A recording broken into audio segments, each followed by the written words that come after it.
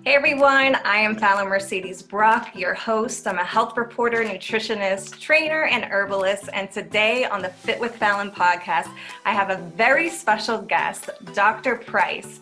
He is a pharmacist, drug dealer, should I say, or was to an herbalist healer. I know that sounds kind of confusing, but Dr. Price, you'll explain more to us. How are you? I'm doing fantastically well. Thanks for having me on. So, what made you go from being a pharmacist and actually you called yourself in your new book, Vegucation Over Medication? Uh, you felt like a drug dealer. You were like, I was a drug dealer, and now you're an holistic healer. So, yeah. why did you feel like a drug dealer? Well, I, I, honestly didn't feel that way at first. I mean, at first, I really thought I was helping people. I mean, I was, when I came out of school, I was doing things like brown bags at churches, going to shelter, homeless shelters, helping people with their health there, so volunteering. Um, so I really felt like I was doing a lot of good. Even when I was working in the hospital as a clinical pharmacist, you know, I would see like people of color and they'd see me and they get excited to see somebody in a white coat. And mm-hmm. they would always be very candid with me about what's going on in their health. So I really felt like I was doing like a lot of good, like teaching people about their medicines and also teaching people like, hey, you need to eat better. Um, but I guess where I started to feel like a drug dealer was when my health started to go bad and I switched my diet up because I had gained a lot of weight. I was working 12, 14 hour shifts at the hospital. And um, it just weighed on me a lot. So I started eating too much, not exercising enough, you know, the usual stretch you get in, um, you know, the daily American life. And uh, I bloomed up to about 245 pounds, almost 250. Oh, wow. And so my normal weight had been around about 200. So I literally gained about 50 pounds, but it didn't look horrible on me because I'm I'm sort of tall. Yeah. So it just looked like I was a football player. so nobody really called me out on it. Yeah, nobody really called me out on it. Uh-huh. And but you know, the unfortunate thing, I was diagnosed with high blood pressure when I was 16. Mm-hmm. And even in high school, like I was an athlete, only had about 5% body fat. So I was super fit, mm-hmm. but I wasn't healthy. Uh, and so I chalked it up to heredity. And so I lived with it for over a decade. And then at some point I just started to feel like my health was starting to deteriorate. I had gained all this weight. I was barely 30. Mm-hmm. I had high blood pressure. Energy was through the floor. It was just so many things that were just cueing me like, you're not supposed to feel this way at 30. Yeah. And uh, so I started trying every diet I could. I mean, every diet you can imagine, I tried it and it mm-hmm. didn't work and uh, I would lose a little bit of weight, and then it would come right back. And in most cases, it would come back with a vengeance. Like I lose five pounds, and a couple months later, I gain ten back. Now, how does that feel, or how did you feel as you know somebody who went to pharmacy school? You know every drug out there, and yet you can't find a diet where you can keep the weight off. Well, unfortunately, most most healthcare professionals have this struggle. Mm-hmm. And so, I mean, I was talking to colleagues like, hey, what are you doing? And, but then I started to realize like all of us were having the same issues. Mm-hmm. And nobody really knew what to do about it. And everybody had a trainer, everybody had a, a meal plan they had bought, and none of it was working. And so, from my perspective, I just realized I, like we weren't taught this. Mm-hmm. This weren't wasn't something that whether you're a physician, pharmacist, or a nurse, like we weren't taught this. And even when we would consult with the nutritionist, like that wouldn't work either. And so from my perspective, I just felt like what there's something about the human body that we don't get. And I needed to figure out what that was. And so I just figured since I didn't know what it was, I just try everything. And if something worked, we start there. So who introduced you to the vegan diet? Because I'm pretty sure, you know, I think it's very popular, the keto diet or many others, but yeah. what made you want to try plant based? To, to be honest, I when when I initially decided to go plant based vegan, I hadn't even, I had never heard of the term vegan. Mm-hmm. So um, really, I was I used to listen to the, all these motivational tapes like you know, everything from Joseph Murphy to, you know, Tony Robbins. And I was listening one with Tony Robbins, and he used to do these retreats where on the retreat, you would do nothing but drink green smoothies and eat plant based foods. And all these people talked about all of this energy that they would have throughout the weekend. And when they left, they would just sustain it. And so I figured, well, Tony always says it takes 21 days to create a new habit. So I said, I'll do it for 21 days. There's no way I'm going to do this for a lifetime, but I'll do it for 21 days if it can lose me five or 10 pounds and, mm-hmm. you know, I get some energy back. And so in 21 days, I think I lost about 17 pounds. Wow. And so seeing that, I had, I mean, I had literally paid for all kind of stuff, including trainers. None of that kind of stuff worked. And um, I eat plants for 17, day, I mean 21 days and I lose 17 pounds. And now I'm like, okay, this might have a little bit of magic to it. So I decided to do 60 days. And in 60 days, I lost 45 pounds. Wow. And the most notice, noticeable thing that happened was my high blood pressure was no longer high anymore. It was normal. Wow. And it wasn't just normal, it was really good. Like when I got my blood pressure checked, the doctor he had to check it like three times just to make sure. Mm-hmm. And so that was really the point that I started to sort sort of looking look at the healthcare system that I was in and all the education that I learned and started to think, well, maybe this is not it. And maybe food really is medicine. And because I look a hell of a lot different, you know, now I got a visible neckline, my skin looks different. I look younger. All of the patients who were very familiar with me were coming into the hospital, seeing me and saying, What the hell happened to you? Now, did, and, did, they think you were sick? Because I find it interesting when people see you lose a lot of weight in a short amount of time. Sometimes they'll ask you, like, "Are you okay? Are you sick?" And I'm like, "No. I'm, not, I'm not sick." Yeah. My actually, my family thought I was sick. Yeah, yeah. My family, my, my patients, not so much so, but my family definitely thought I was sick. Mm-hmm. And that's probably because we do have um, some obesity in my family. Mm-hmm. And because I lost the weight so quickly.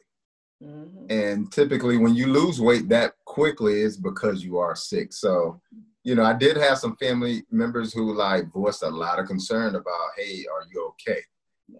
Um, but the patients at the pharmacy were, I mean, a couple of them were like, man, you look like you got the Benjamin Buttons disease. Like you're reversing. Your age is re- reversing. And so, you know, after kind of telling them what I was doing, that was the point that I started to feel like a hypocrite. Mm-hmm. Because as I'm like giving people essentially a plant based prescription, I'm also handing out these prescriptions that, you know, I was prescribed and I witnessed myself reversing those conditions within myself. And so that's when I started to feel like the hypocrite or drug dealer in the pharmacy. So at what point did you realize like I can't do this anymore? You know, like I have to make a change. Like what brought you to that point? And was it a difficult decision for you or was it like oh, this is easy. Because being a pharmacist, you go to school for a very long time. You're a doctor. Yeah. And I'm yeah. sure you spent a lot of money for your education. So, how was it mm-hmm. to walk away from that? And what was the catalyst that made you walk away? Man, I, you know, the, the, the funny thing is, is that I just, I, in, in the initial phases, I believed that I could do both. Mm-hmm. And, and it's quite possible I could have because the truth is, is that unfortunately, no matter how much information I give people and how many cases I can show people, like, hey, that disease state you have, you don't have to live with it, mm-hmm. people are still going to do what they, they're going to do, which means that they're going to be on medication. Mm-hmm.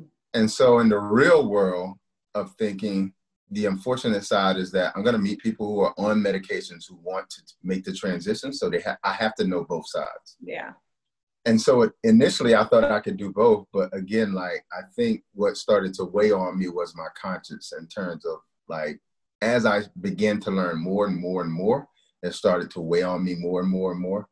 And also, in addition, the more people I told or gave the plant based prescription to and told them what herbs to use, and they would come back 30, 60 days later, they were reporting the same things. Yeah. And more and more people were telling me, oh, it helped my diabetes too. Oh, it helped my autoimmune condition too. And so it just started to show me, like, oh, this can actually help everything. Yeah.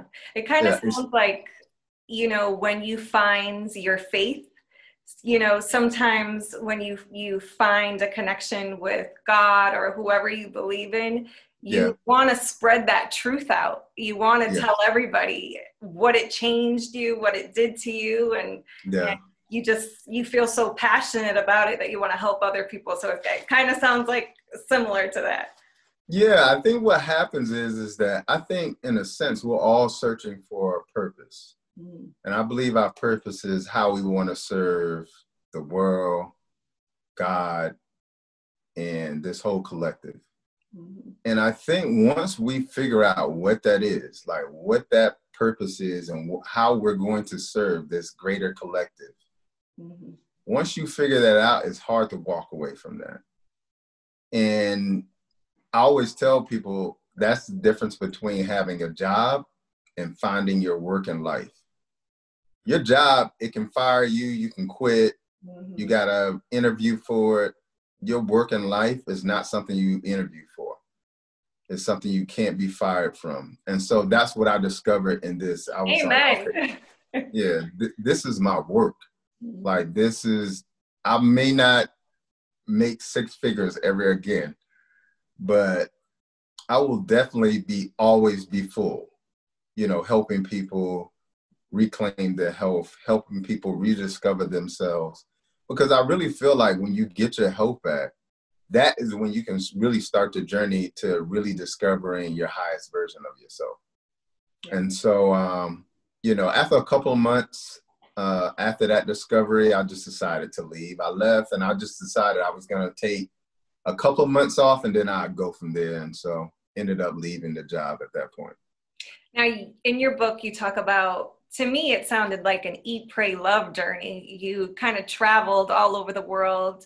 You went to Japan um, and studied with um, I don't know how to pronounce it, the Okinawans, the yeah, Okinawan centenarians, yeah, and and they're kind of like the oldest population um, in the world because they're so healthy, they live for so long. And then you went to India and studied like yoga and meditation, and then you went a couple other places too. So, yeah. did you purposely seek out those places, or was it something that just naturally aligned and then kind of brought you on your journey to where you are well, now? You know, the funny thing was like after I quit my job, it seemed like everything started to align instead of me like trying to force things, like I felt like getting into pharmacy school was like it was easy for me, but initially I was trying to get into medical school and that was so tough. Got in, but decided to go to pharmacy school. Mm-hmm. Pharmacy school was so hard. All right, so I finally get out of that, and then I get into the hospital and working for the FDA, and that's so hard. It's hard work. Mm-hmm. And then finally I leave that job and everything after that was just easy. It just it did it it didn't feel like I was working. It felt like I was waking up having the opportunity to go play every morning. Mm-hmm. And so every opportunity so when I moved to Japan, that was an email that came out of nowhere and they asked me if I was interested in the opportunity. I thought it was spam mail, so I deleted it like at least four times and then I finally responded to it, saw it was real, and talked to the people. And in a split uh, split second, I just made a decision. I'm going. But I literally from April until like July, like did everything I could not to take the position. I mean, I didn't respond to their emails. They would say things like, "Hey, what is it going to get you take to get you to come?" And I'm like, "Pay me this, and then I'll come." And I just made some astronomical number. They're like, okay, when can you come? And so like everything just seemed so easy. So when I moved to Japan and I lived there for about four years and I figured like I learned everything I could here. Mm-hmm. I really at that point everybody was looking at me like I was crazy anyway because I mean I had this very promising career I had received awards for and um, you know I threw it all away and moved to Japan like who does that mm-hmm. and so everybody was looking at me like I was crazy anyway here's this kid from the hood who finally becomes a doctor and he just throws it all away like everybody's looking at me like I'm crazy and so like when I left Japan I was in no hurry to come back here and you know, like to people who thought I was crazy. So in my mind, I was like, let's learn more. I was like, they can't be the only people who can teach me. So I did go to Bali and spend some time there. I went to Thailand. Um, Bali, Bali is very famous for a lot of the Balinese healers, so that's why I went there. Oh. Um, Thailand is very famous for using herbs in their food, so that's why I went there. And Vipassana meditation went to India for yoga and Ayurvedic medicine, also meditation. And then um, Africa is also known for herbs. So several countries in Africa, then Peru, then Honduras, and then back here where I wrote the book. So I really didn't plan any of those trips out. It was just, all right, I'm gonna go here because, you know, like I don't have a next move. My next move is learn more. That's and, amazing. you know, each time I would learn something and I would get to a point where I felt comfortable. It was just time to go and move on somewhere else and learn more. Yeah, that's amazing. It sounds like you definitely had like a higher um, calling that was moving you around to each place, and you were able to bring back your book to share it with all of us. And um, yeah, that's amazing. Please tell me one thing that you learned from each place, because I am fascinated with learning other cultures and you know here in america we are so quick to eat fast food and when we become unhealthy we'll just take a pill so i know in other countries they are more holistic more natural they're more active. For instance um, my father we're from the dominican republic and my great grandmother, she just passed away, but she lived to 104 years old. And it's because she lived in the campo, which was it's the country. She didn't have a running toilet. She didn't have yeah. stove in her house. It was a cement stove outside. You know, even in her 90s, she was still cooking rice and beans and and eating cantaloupe and it's just right. yeah, they, they are so much more active, natural, and less stressed. So, right. what did you learn from each place if you had to pick one thing? Well, I learned so much, but I, I think in Japan, what I really learned was the importance of everything in your lifestyle being holistic, not just your food, but in their community, each person was assigned another person. So a person who was 80 was assigned a person who was 100 a person who was 90 was assigned a person who was 105. They had these connections in their community with, I'm responsible for you. So when I wake up in the morning, I come and check on you. Oh, and that community was so important. So I learned a lot about making sure every aspect of your life is holistic because a lot of people will just center and focus in on the food and forget about all of the other areas. And so that's really where I learned a lot about in Japan. They lived a very slow lifestyle an island lifestyle in Okinawa that wasn't based on anything but living a good life. And so, I mean, I learned a lot of different principles, which I talk about in the book in there, but that's one of the main things I learned there. And um, in Thailand, I learned, I did this. So at the, the monasteries, the monks had this opportunity where you could do something called Vipassana meditation which is basically silent meditation for so for like 10 days 20 days you're not saying anything. You can't say a word. You can't read a book. You can't use your phone. Oh my goodness. you're just sitting with yourself. How long and did you do? I did 15 days. Oh wow. Yeah so um you know like when you're in that silence you have a lot of inner dialogue. Mm-hmm. and i learned a, a lot about my inner voice and so I teach people in my tribe membership a lot about that inner voice because sometimes the inner voice isn't your the voice that you want to be there. It's the voice that is telling you you're not good enough, that you can't have these things that are harmful for you. Like, mm-hmm. and so I always had, I always even remind myself of that when I'm in a space where I'm really busy. I check in on myself with my inner voice. So I learned that a lot in um, in Thailand. In, in, India, I learned a lot about yoga. I spent about six months in India um, studying Ashtanga yoga, and it's a very beautiful practice. And being able to stay in a place where you bathe out of a bucket and all you're doing is waking up at 5 a.m. every morning to go do uh, yoga, meditation, chanting, so forth and so forth. It was just a beautiful process to get into that routine and get my body like prepared for what I was going to go through in the rest of the traveling, but mm-hmm. also like being able to download things from you know a higher place. Uh, so yeah, I, I mean I could keep going, but That's every place amazing. I went, I learned a lot. I mean, I learned a lot about herbs in Africa. And uh, what would you say? I know you sell herbs, detoxes, sea moss, and it's part of your group. What would you say is your favorite herb that you got from another place or that you offer um, as one of your supplements on your website?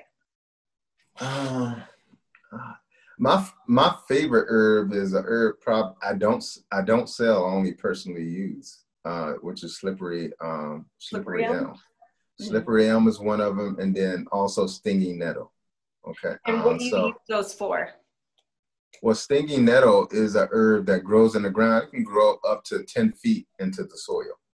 And so whenever a plant grows that deep into the soil, it means that it's going to get a lot of nutrients. So it has a lot of nutrients mm. in um, in addition, so like I usually use that basically as a nutrifier in my body. Um, so um, that's stinging nettle. That um, makes sense because um, have you heard of grounding? Mm-hmm.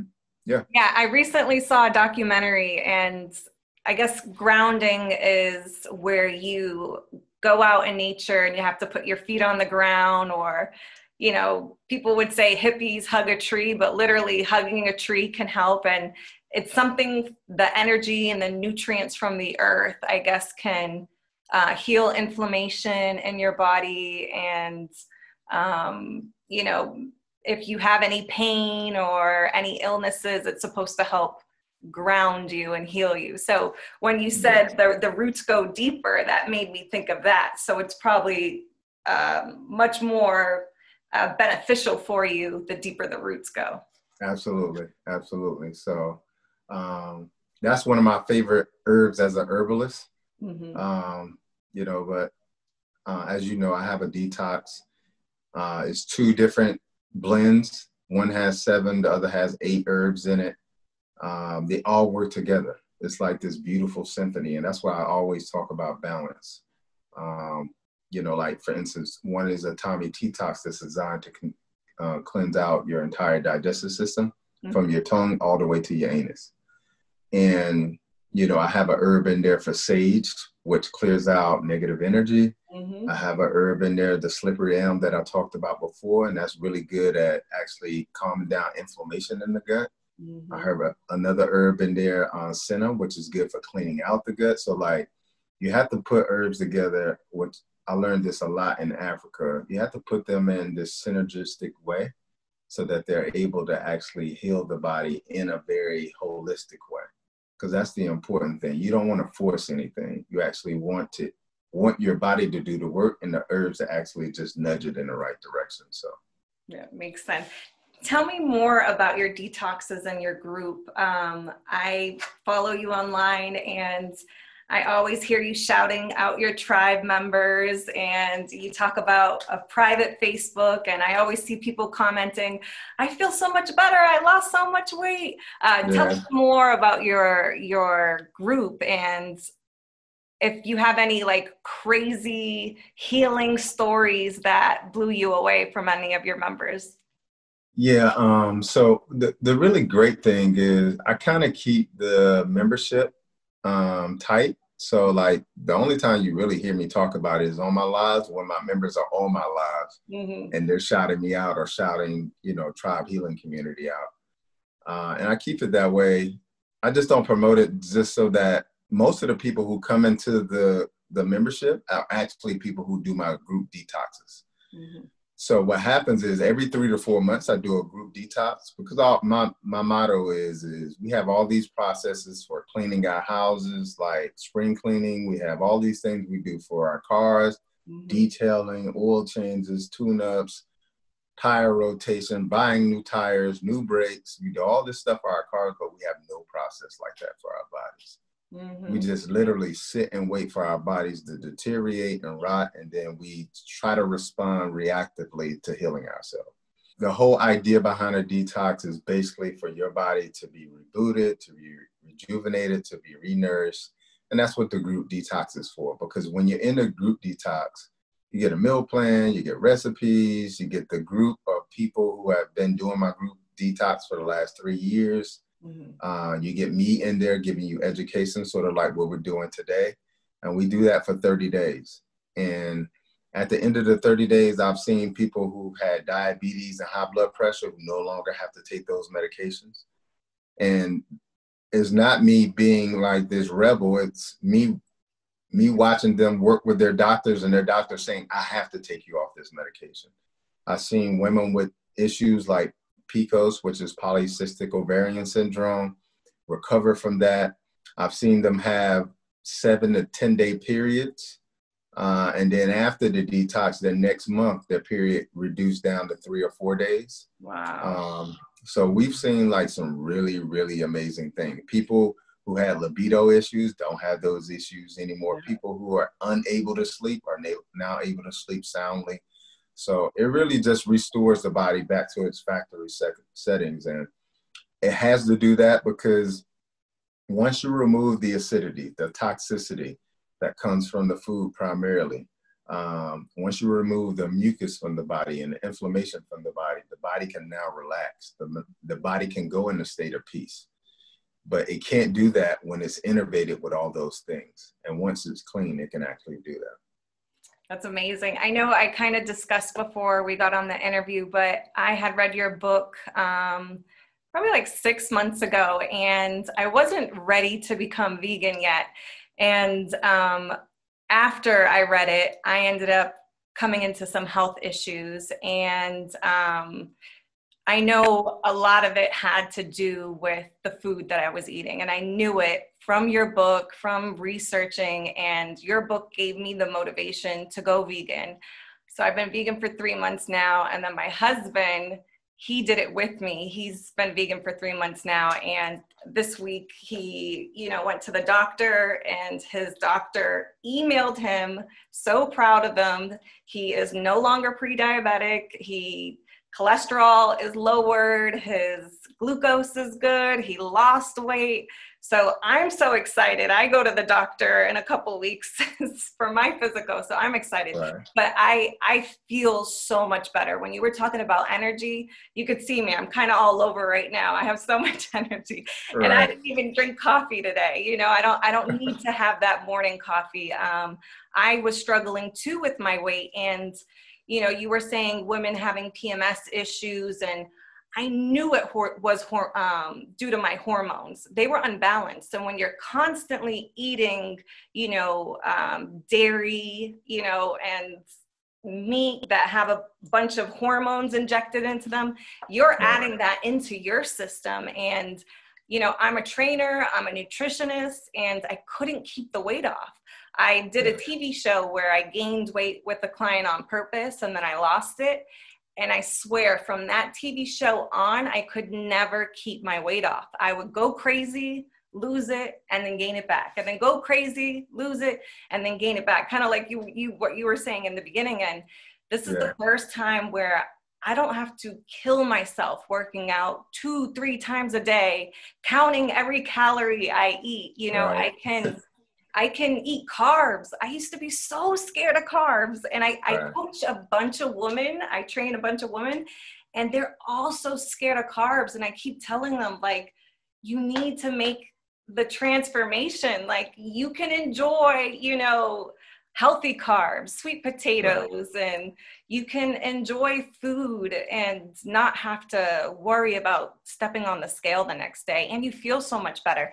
I didn't know, um, and I know in your book too, you talk about how a lot of minorities, you know, they they can't digest a lot of the dairy. They can't break it down. A lot of them are lactose intolerant, and you know, I would always eat Greek yogurt because I'm thinking protein, protein. I got to get my protein in. You know, stay away from carbs. Eat your protein. And um, the first week I went vegan, I no longer was bloated anymore. Like, yeah. I'm like, here I am. And then my menstrual cycles are so much better.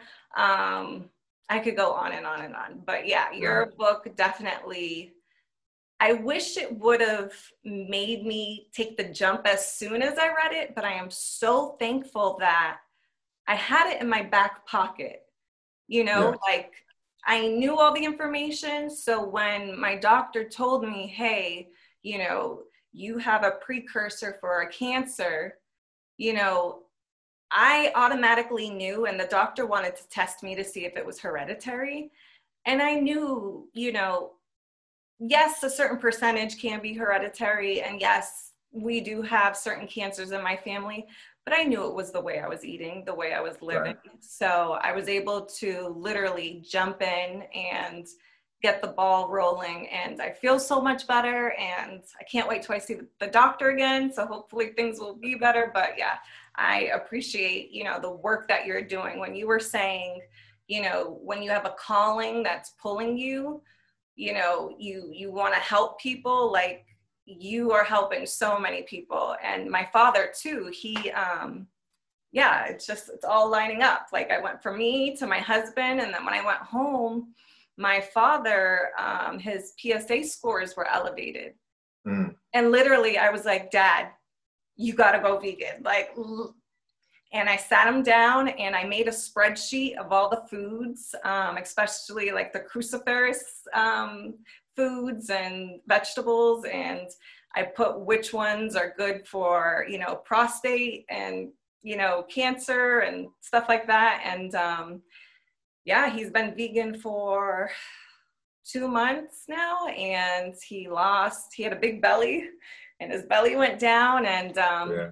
he hasn't checked his levels yet. He said he wants to just try it a little longer. It's really a ripple effect. You know, you go to one person, that person goes yeah. to another person, that person. So you right. probably can't even count how many people you've you've helped and healed. So thank you. That's my spiel. Yeah, yeah I, appreciate it, man. It's it's definitely been a blessing, and you know, hearing the stories are just uh, it's the gratitude, like my gratitude for being used as a vessel. So, um, you know, thank you for you know making the movement spread because you know the the important thing to understand is like I can only do what I do from my standpoint. Mm-hmm. But when everybody else takes the information, uses it, gets healthy, and then shares it with the people they love, then it becomes like this this movement that is it's just beautiful. Like to see people heal, to see people get better, to see people happier. It's a really beautiful thing. Yeah, it it really is. And and my father too, he um he owned businesses all his life. He owned a nightclub and then he had like stores little bodegas and so he would never be home. He would never sleep. He was always stressed out like for years and years he would never go to the doctor or take care of his health. And you know after this situation um, and he also had diabetes and now he's no longer on his metformin. So beautiful.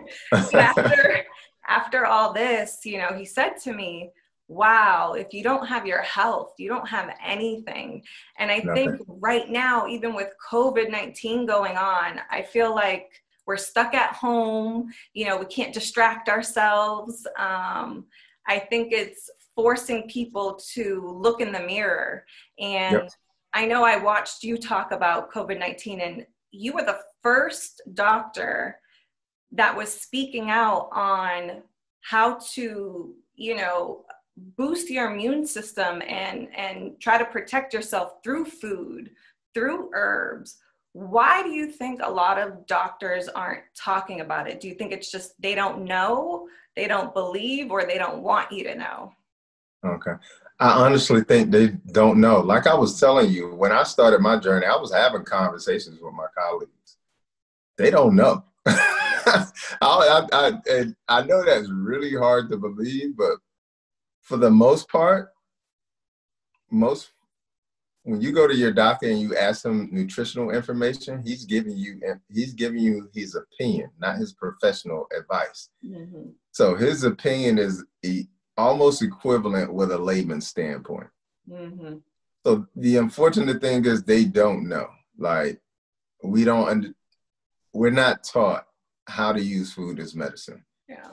And so even now I'm in the the process of creating a course for doctors, physicians, and beautiful. Um, yes, yeah, I, so, I've, so I've interviewed so many doctors, and they will tell me they might have had a couple weeks of nutrition. You know, yeah. The only, I mean, only about five percent of medical schools required. Yeah. Like one course. Yeah. So, and you can't learn anything in one course. Yeah. And so, the unfortunate thing is that they really don't know. It's not like this evil mm-hmm. person is saying, no, I don't want you to get healthy. They don't know. And the reason why I know they don't know is because you know the leading cause of death for cardiologists? Heart attacks. Heart attacks. Yep.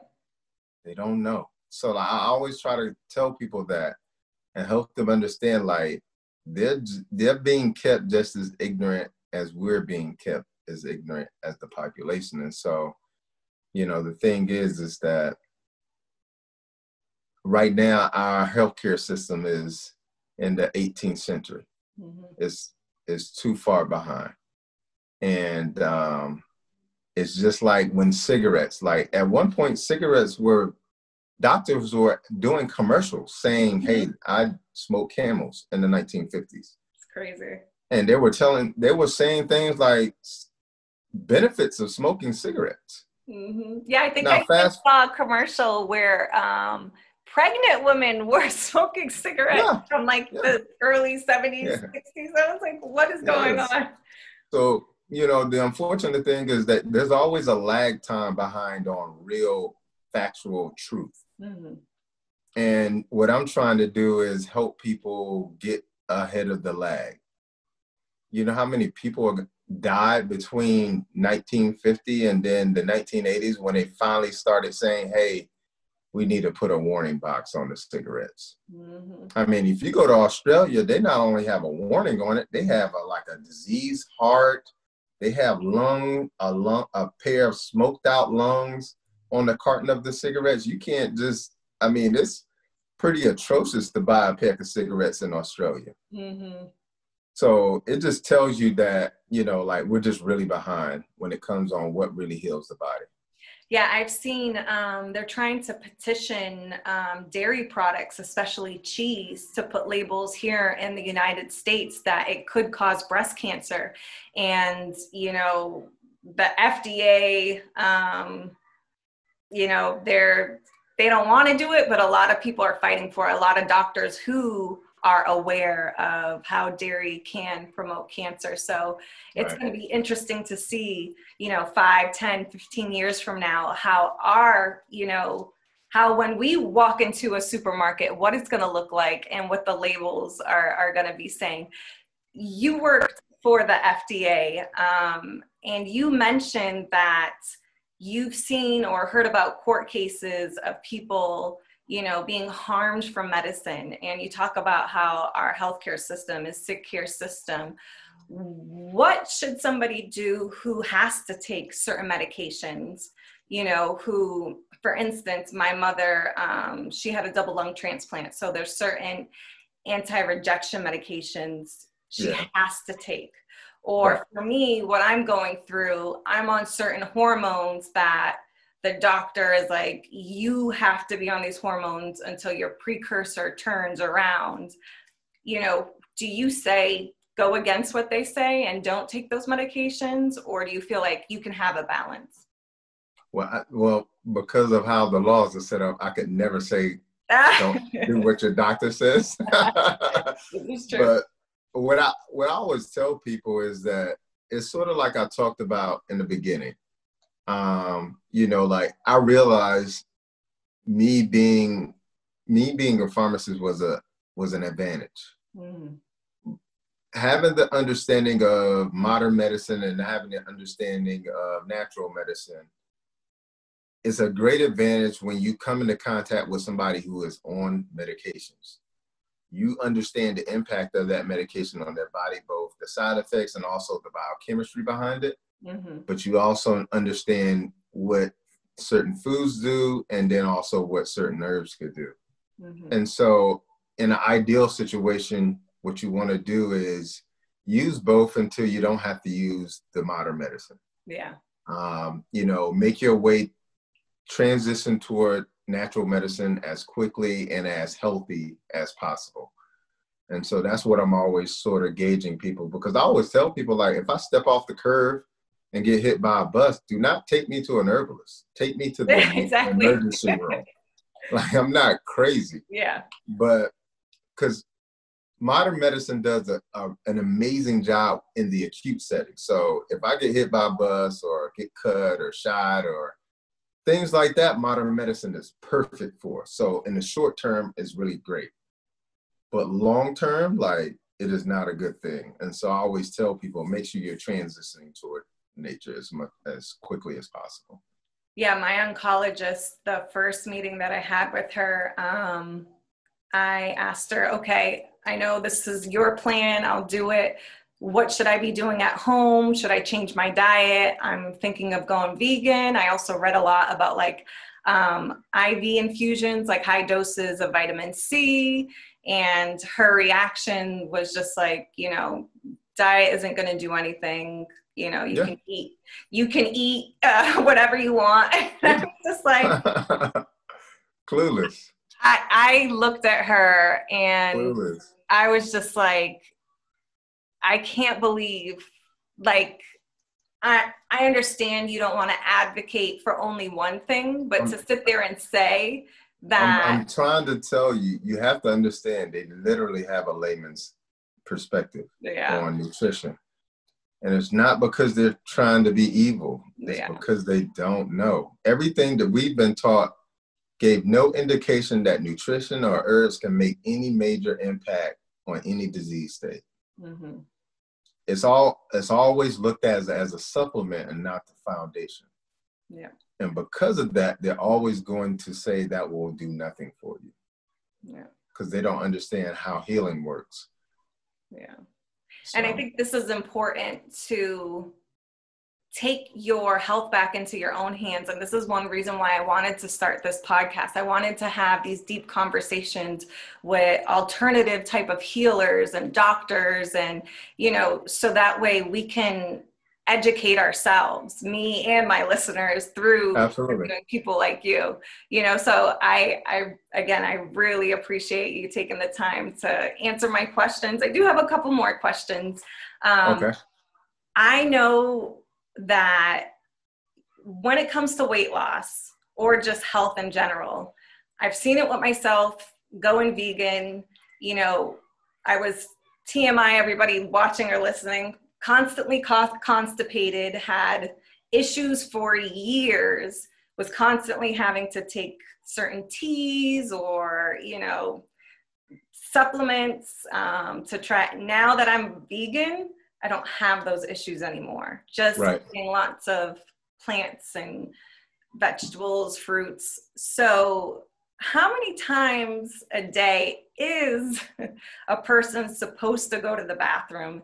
and you know is going to the bathroom only a couple times a week you know yes it will cause weight gain but how does that impact your health overall does it have a negative connotation does it does it hurt you in some way um you should have a bowel movement every meal now if you eat like a piece of fruit you're not going to have a bowel movement but if you have a full for every full meal you should have a bowel movement that day um, that's what I've seen with people who make the transition. That's what I've seen with people who are in my group detox.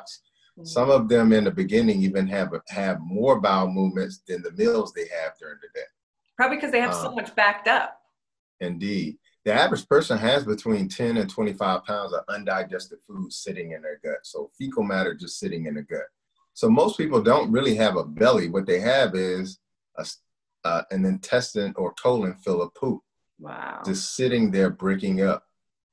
And so as a result, you know, it has become normal to be irregular and not have bowel movements because 70% of the population is constipated. Mm-hmm. You know, like most people are eating a huge amount of dairy, most people are eating a huge amount of meat, and none of those things have fiber in them. None of those things have hydration in them, and that's what is required for a bowel movement. If you don't have fiber in your meals, if you don't have hydration in your meals, because you got to think about it, you can juice fruits and vegetables, right, and get mm-hmm. hydration out of it. You can't juice meat and dairy. There's no hydration in it. There's no fiber in it. Mm-hmm. And if you buy things over the counter in a can, box, bag, those things have had the fiber ripped out of them. Yeah. So you're not eating fiber in that way too. So that's why the vast majority of people are irregular. It's not it's only it's common, not normal. And there's a difference between the two. People are looking at common, meaning like the vast majority of people today in America are actually either overweight or obese. That's mm-hmm. common, but that's not normal. Yeah. That's not how it was 50 years ago. Okay. Yeah, and it's the same thing too when it comes to PMS. You know, I suffered from bad PMS and you know, I would talk to my doctor and she would say that's normal, you know, it's being a woman. And I'm like, "No, I don't I don't think this is this is normal." And then I would talk to my friends and they're like, "Oh yeah, I go through that too." And I'm like, "Yeah. But this shouldn't be this way." And then I started yeah. doing research and um there like you were saying the pcos or um, pmdd it's called or you know i fibroids. had fibroids i didn't even know i had fibroids you yeah. know i i was like who who would have known i didn't know and luckily what i did was my doctor um, she said it was normal but I knew something was wrong and I knew something was off. So I went to a website called let's get letsgetchecked.com and I purchased an at home um, hormone test. And once I got my results that my um, my hormone levels, my estrogen was way estrogen high. Was, yep. It's called I, estrogen dominance. Yep. So that's what I had, estrogen dominance. And um, I called my doctor and I was like, I want to see a specialist. I know something's wrong. And then um, they told me they checked me and that's when we found my fibroids so and then i had to get surgery which i wish i would have went vegan then but yeah and that and that's why in my book i call our healthcare system a sick care system is because in in today's healthcare uh, system most things are normalized they're they're normal so when you go in there unless you are in a dire state they're going to say, no, that's normal. Mm-hmm. And it's not normal at all. In most cases, when you go in and the, the lab results that they choose to, to actually take that day come up normal, they're going to send you right home. Yeah. And there's people who go back and forth with the doctor because they know something is intuitively wrong in their body. But the doctor is like, well, the labs haven't said anything to me. Yeah. But the doctor hasn't asked them, how much water do you drink? How regular are your bowel movements? How much sleep are you getting? What's your energy levels like? Tell me about your period. Mm-hmm. Like they're not ask, asking these questions that really are like check engine lights to the body. And so as a result, you know, a- every illness is virtually normal. Even if you go in there with high blood pressure, they're like, oh, everybody got high blood pressure. I'm just give this five, 10 milligrams, you'll be fine they don't give you any advice, real advice about what you can do to sort of get out of that pre-diabetic state or that low hypertension state. And it's just because A, they don't know, and B, because disease unfortunately has become normalized. Yeah. I think it's important to seek out people in in your community, you know, who can assist you along the way. And I want to talk more about your group. Um, you have one coming up for the new year, but you have to register register before then, correct? Yes, that's, that's correct. So Yeah, I, I, know the transition can be difficult for people, so that's why I created a group where inside of the group there's a there's an online exclusive group that everybody's in. We typically have around about 300, 350 people in there every um, new year. Um, but this year we're only able to do 200 because of uh, the pandemic and, you know, uh, unable to get um, the amount of supplies that we typically get. So, but in the group you get uh, a meal plan, you get recipes, you get coaching from me in a group setting twice a week. Uh, you get encouragement from who I call my my detox OGs because they probably do the detox every three three to four months. Wow. Um, and then uh, you're just getting a host of other things. You're getting a 30 day herbal detox. It's just a, a, huge benefit for people who need that type of support.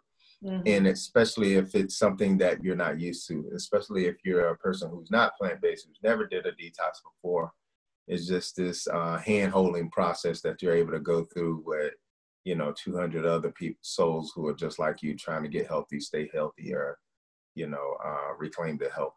That's awesome.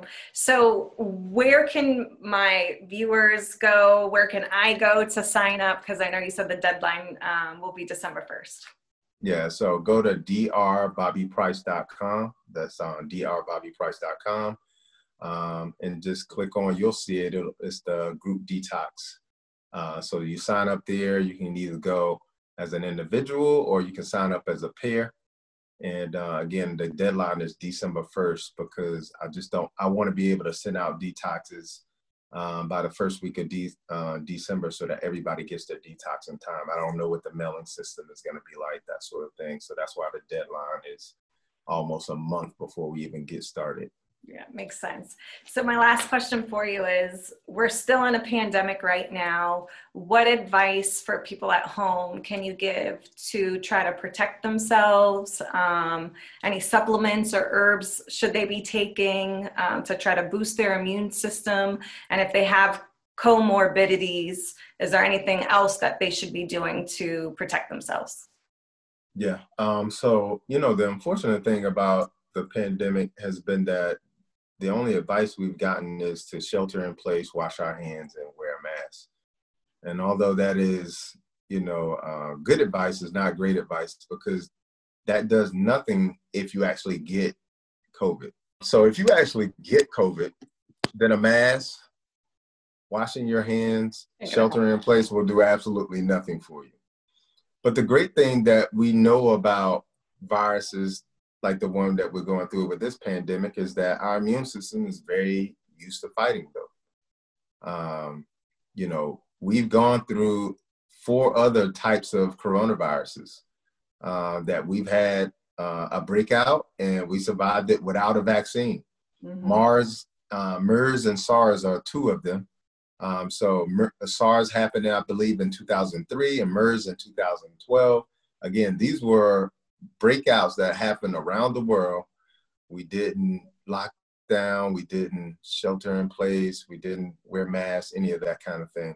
And so the reason why we were able to get through that is because we built immunity within ourselves. So a lot of people are hearing about things like building antibodies once you actually get the virus. Well, that's what our, our bodies always do. Like when I was little, my grandmother would tell me to go in the room with my cousin who had the measles or chickenpox. Yeah. so I can go ahead and get them and be immune to them. So our bodies, this is what we've been doing since the beginning of human existence. Mm-hmm. And so it's really important to understand that we have an immune system that does work well to do that. Now, the complication with that is that a lot of people are unhealthy and have immune systems that are compromised. And in those populations, the elderly, people who are on immune suppressing drugs like people who are autoimmune conditions, people who are taking steroids. Um, these are the type of people who are unfortunately in that category of people who need to be concerned about it. But what we all also discovered is that almost 90% of people who had either severe or fatal symptoms when it came to corona, they had a, a chronic illness. Yeah. So it tells us that if you're healthy and you get corona, in most cases, you don't have any symptoms at all. You're asymptomatic. Mm-hmm. But if you have a chronic illness, then it increases your uh, risk for going into either severe or fatal state. So, mm-hmm. the biggest thing you can do in this time is build your immune system up. Okay. And the number one way we could do that is by eating healthy. And that's because 80% of our immune system is actually manufactured inside of our gut by our good bacteria. Okay. And most people don't, you know, know that the good bacteria in your gut is what we commonly refer to as probiotics. Okay. Mm-hmm. Now, it's cool to take a probiotic, but it's best to get your probiotics from your food. Okay. When you eat food that comes from the ground, there's bacteria and things like that, good bacteria in the soil that are on the food. So when you eat it, it goes in your gut, it lives there, it helps you create more immunity. Okay. And when you eat fiber, which is only found in plants, it feeds that good bacteria as well. When you don't eat plants, you don't feed the good bacteria. Okay. So that's why it's so important to eat well and to build that good bacteria in your gut so you can build that 80% of that immunity that is being created to not only fight off infections, but your immunity is also what fights cancer as well. People who get cancer have a compromised immune system. Yeah. Okay. So it's really important to understand. I wish we had been given this, and this is why when the pandemic first started, I came out with the video. I was telling people what you need to focus on is your immune system mm-hmm. because it takes, for some people, six to 10 months to rebuild that good bacteria in their gut and rebuild their immune system. Okay. But you got to think about the vast majority of food, like meat, has hormones in it, antibiotics in it. Even if you get it grass fed, like the, the cows are typically grass fed when they're like calves, like really young. And then they sit off to a livestocking where they're grass fed. They're not grass fed, they're fed like soy and things of that nature for the rest of their life. So even when they say it's grass fed, it's not in really. many cases, what what has happened is they were grass fed for like a year or two. so you have to understand, Wild. like they're not gonna put that type of label on there. They yeah. and it's not required either. Same thing with dairy. Um, those that if those cows are, and I'm just using cows as an example, mm-hmm. if they're fed things like corn and soy, which they shouldn't be fed because cows don't eat corn and soy. Yeah. But if they fed that, they're going to be sick cows. Okay, so you're eating a sick cow. Okay, and that's going to create sick dairy because dairy comes from cows. So it's really important to understand like you have to watch the whole food chain with your food. And a lot of the things that they're doing today is they're tricking people with labels, like saying things like all natural. Things like that are labels that uh, that aren't actually being regulated. Okay, uh, grass fed. Yeah, they were grass fed for a year, and then now they're taken to a whole nother farm where they're now fattened up with corn and soy.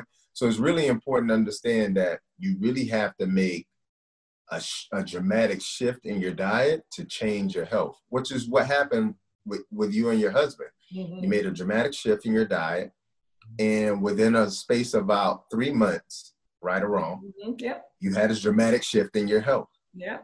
And so you can't do this. I'm gonna stick my toe over here and stick my toe over here if you want to get a dramatic shift in your diet. So that's one of the biggest things that I'll name. In terms of like some things that I recommend, make sure you get in some um, elderberry is really good for boosting your immune system, zinc and selenium. But these are all things, the things that you'll find like zinc and selenium magnesium. Uh, these are things that you're going to find in fruits and vegetables, nuts and seeds when you consume them on a consistent basis. Mm-hmm. So yeah, you can take the supplements, but a supplement is just that. It is a supplement to the foundation. Yeah. And the foundation is fruits, vegetables, nuts, and seeds. Yeah.